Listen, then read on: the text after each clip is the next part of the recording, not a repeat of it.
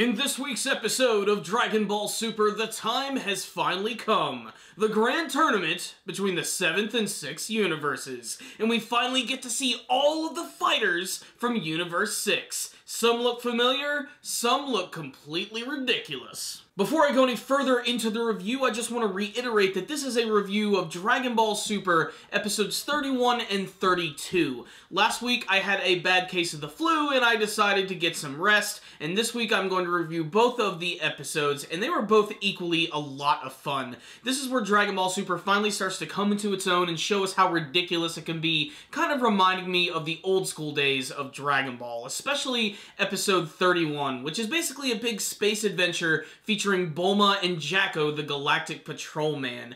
Basically, they're going to see this all-wise overseer by the name of Zuno, who seems to know everything, and this is where they learn about the Super Dragon Balls. Now, the biggest thing to take away from this episode is that before we always originally thought that there were separate Super Dragon Balls in the Universe 7 and Universe 6. Apparently, there are only 7 total across both of these universes, so Champa is very close to getting his final Super Dragon Ball. Not only that, but we also get to learn that they were created long ago by some ancient dragon god who I pray that we're going to be able to see eventually. Just getting to see that thing summoned and stretching across multiple galaxies. Maybe it's going to be something small. Maybe it'll actually be a threat to the series. I don't know. Maybe that's a little too similar to Dragon Ball GT storytelling. All I know is this episode was a lot of fun because there was just a lot of crazy antics between Jaco and Bulma. Jaco, who just unfortunately gets thrust into all of these dangerous situations thanks to Bulma.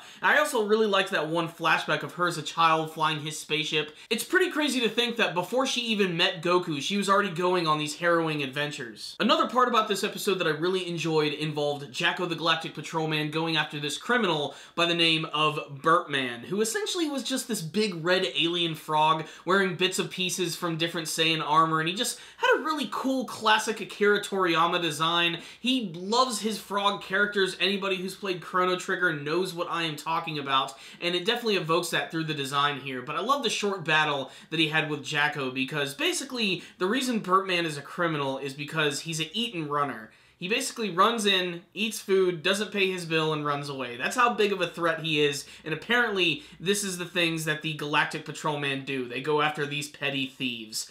So basically, Jaco has this encounter with him at Zuno's because when they finally get there, they actually have to like be in line, and you can wait upwards of like seven or more years just to be able to talk to Zuno. And Bertman is not going to give up this opportunity because he has to learn how he can never get caught and how he can steal food forever.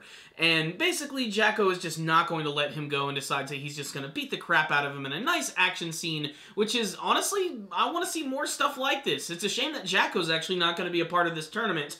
Although, at the end of the day, when you see the actual fighters from Universe 7 and 6, you can understand. He's not that powerful. Zuno's design is also just classic Dragon Ball, just the sort of like ridiculous cartoony version of a Buddhist monk. He's got an amazingly huge head, as does his subordinates. In fact, they all kind of look like little clones of him, which is very strange, but Zuno himself seems to know just about everything. And it's pretty crazy that there is a being like that in the universe. You would always assume that it was going to be the dragon before that, but even the dragon doesn't know everything. They actually had to go to this guy. I can't wait to see if we're going to go back and see Zuno again, if there's another piece of information we're going to need, or if he's just one of those weird, one-off, ridiculous Dragon Ball characters. It's probably going to be the latter. And then, of course, there is this week's episode, which has so many amazing moments. Not only does it introduce the fighters from Universe 6, but we actually get to see what would happen if Vegeta and Goku had a beard.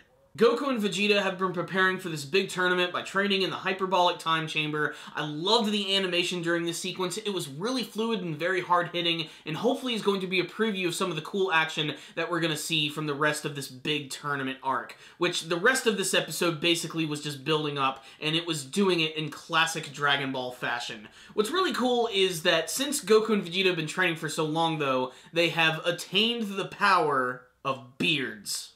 This was a really shocking scene, and honestly, I was kind of hoping that they would keep them. They make them a little more distinctive, and it just makes things seem a little more fresh. I don't think we're ever going to see that again. I think this was just a one-time joke, but I have to admit, it definitely had me laughing. And then we get to go to the Nameless Planet for the big tournament, and they're going to get there thanks to the power of Whis, and that's because he has this cube that he's going to transport everyone in as he teleports across the universe. It's, however, the episode does make it painfully clear that it does suck to be in such a small space with everyone, especially with Majin Buu, who decides to just fart and destroy the entire room. Real classy humor there, Dragon Ball. But if fart jokes aren't your thing, then maybe nipple jokes are going to be your thing, because we're also finally introduced to the character of Monaka, supposedly the strongest person that Beerus has ever fought against. He's this goofy-looking little red alien with just massive nipples there's no way you can't talk about them. I mean, they're right there. They're known as his Grand Ponta. Let's not forget the scene where Goku wants to spar against Monaka, and he goes as far as to literally just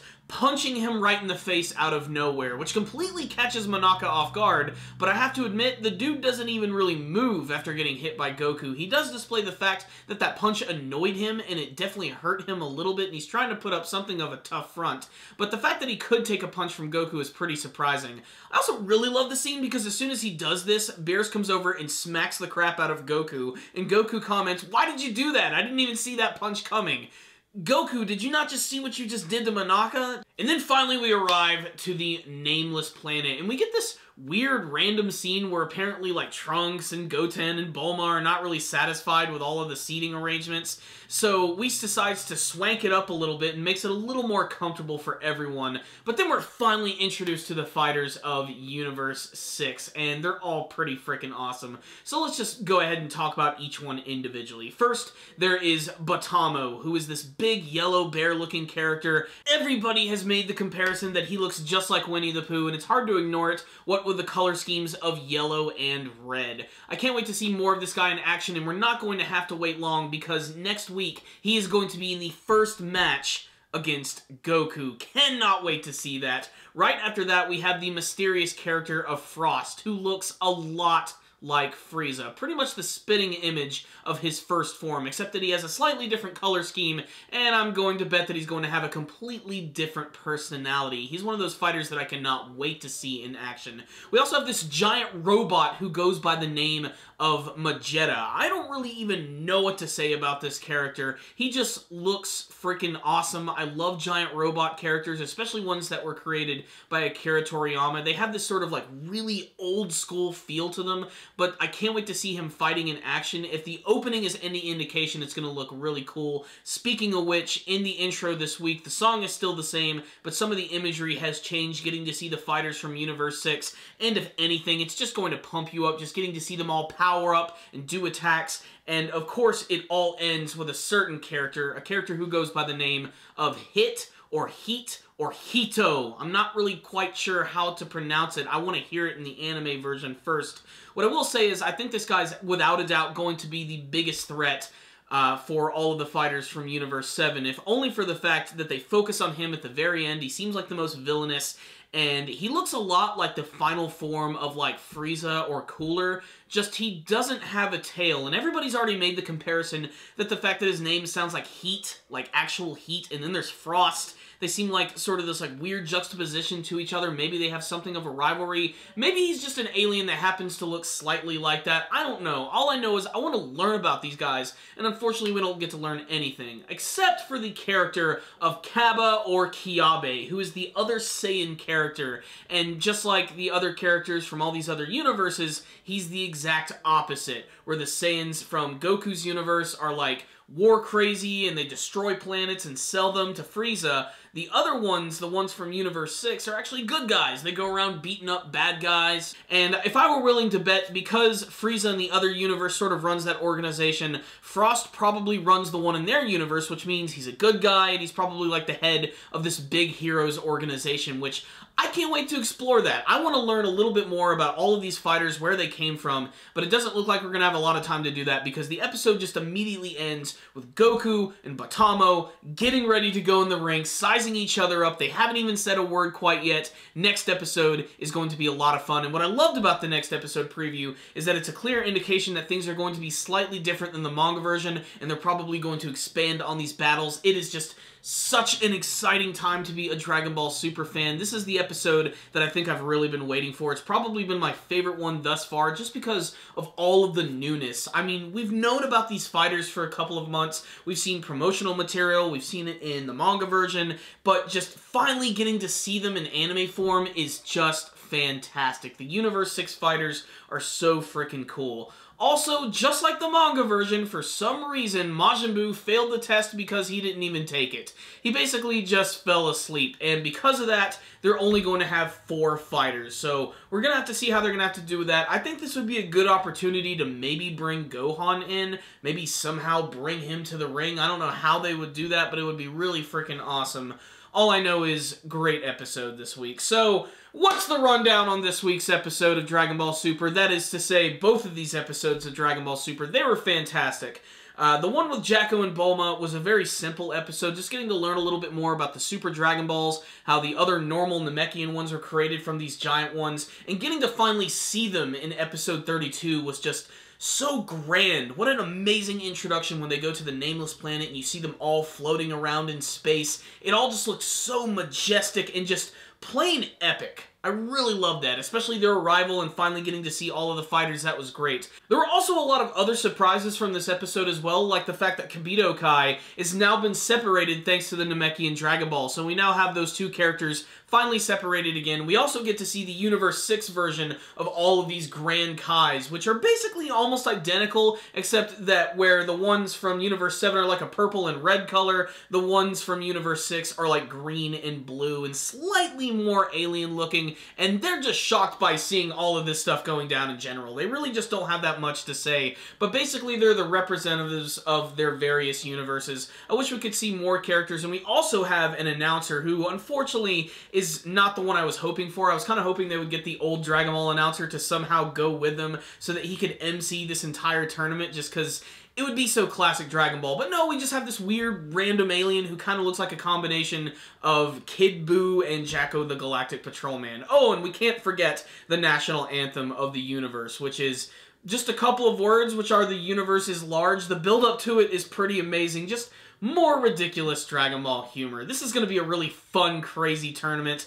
I just can't wait to see how they're going to handle it because the manga version is already getting through the first couple of matches right now, and the preview for the next episode already shows that things are going to be a lot different. So uh, I just can't wait to see more from these fighters. I also love that in the preview you could actually see that Botamo was actually talking, something that he didn't really do too much of in the manga version, and I'm kind of hoping they expand on these characters. I want to care about them a little bit more outside of the fact that I think they look funny or cool and I'd like to see them in a fight. As far as who my favorite fighter is from Universe 6, it's kind of a tie between Frost and Hito because Frost just looks cool to me, mostly because I'm a big fan of Frieza. Frieza has always been my favorite villain from the series. I've always felt that he had a perfect design every single one of his forms, and getting to see like a heroic version of that character or someone who's like the exact opposite of Frieza is something that I'm really looking forward to see. And the manga is already started giving some teases to that, which is really fantastic. And then of course there's Hito, who just you know, the fact that they focus on him at the end of like those brand new character montage in the intro, the fact that he's like shooting a beam towards the screen and looks all evil, just makes you realize that there's something not quite right about this guy, and they're not even like hinting at anything quite yet. He's really, really quiet, and he just doesn't really seem like he cares about anything. But like I said, he looks so much like the final form of Frieza or Cooler or someone from that race. Just there's no tail there, you know, but he does have similarities to some other like weird aliens from the Dragon Ball universe. He kind of looks slightly Namekian in some of the features. I mean, obviously no antenna or ears or anything, but you, you know, it's, maybe it's just the way that Akira Toriyama designs characters that they all sort of look slightly the same. All I know is I'm really excited for the rest of Dragon Ball Super. These two episodes have got me so pumped up to see what the series is going to do, and uh, that's it. I'm just excited right there. Um, I loved both of these episodes uh, equally, actually. I thought they were both pretty fantastic. I think they could have gotten through some parts a little quicker, and some of the humor kind of falls flat, but for the most part, I'm really excited to see what they're going to do. Next week is when Dragon Ball Super finally, hopefully, comes into its own and starts to become something really classic within the Dragon Ball universe. We're just going to have to wait and see. For both of these episodes right here, I'm giving both of them a 4 out of 5. Check them out, Dragon Ball fans. You will definitely see something you like. But if you did watch either of these episodes, make sure to tell me what you thought about them in the comment section below. Are you looking forward to this big tournament? Who do you think's going to win? Who do you think's going to lose? What do you think of the character of Monaka? Is he actually stronger than Goku, or is it just a big ruse and we're all supposed to be drawn to his nipples? Not to mention, we have Universe 6. Who is your favorite fighter from their team, and what do you want to see from the rest of Dragon Ball Super? Make sure to tell me in the comment section below. Thank you guys for watching this review. Make sure to like it, share it with your friends, and subscribe to the channel. Thank you guys again for watching, and as always, stay dandy, baby.